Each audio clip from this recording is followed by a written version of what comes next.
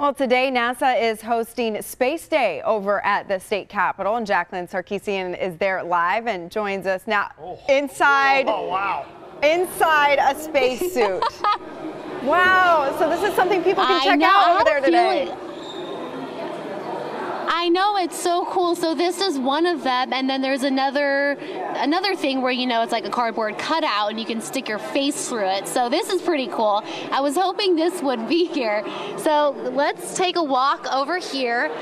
There are so many cool things happening, like what I just went into, and now a real life astronaut, Rex Walheim. Thank you so much for being with us. It's my pleasure. It's great to be here in Austin today. So you have been to space three times. Tell us about that experience. Yeah, it's an amazing experience to have a chance to get launched off this planet and then uh, see the world from a vantage point of uh, 250 miles up when you're going 25 times the speed of sound.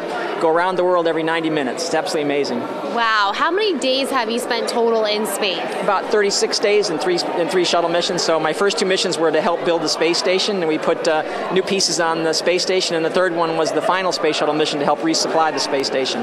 Now, did you always know growing up you wanted to be an astronaut, or how does someone decide one day they want to go to space? Well, it's one of those dreams you have, and if you keep pursuing it, it can possibly come true. Now, I didn't take it real seriously when I was younger. When I was a kid, it's something I dreamed about and read books about. And then as I got closer and went through college and got some experience, I thought, well, maybe this is uh, something I could really do. So I pursued it and was able to do it.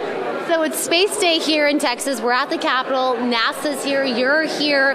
What is this day all about? Yeah, we're trying to show the uh, impact that NASA has on our community, basically, and also what the great things we're doing and the, way we're reaching out to uh, high school scholars. And want us to uh, thank the legislators for their support to some of these programs and just understand what it is we're up to down at the Johnson Space Center and around the state and the various parts of the space industry.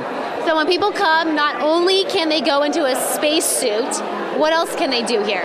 Okay, we can look at all the various exhibits to see what we're doing, uh, the various programs, the, the exploration vehicles we're working on, some of the different aerospace companies, what they're working on, bringing on the next generation of vehicles. We're, we're really uh, working hard on getting uh, the capability to launch astronauts from the United States again. I was on the last space shuttle mission, and so now we're uh, getting to do it from the space station with our Russian Soyuz rockets, but uh, we're building some exciting ones with Boeing and, uh, and SpaceX to take our astronauts to from the space station, and then NASA is working on deep space vehicle. So they can hear about all these different great programs we're working on. Well, awesome. Thank you so much for joining us. Dave, Amanda, Lauren, Zach.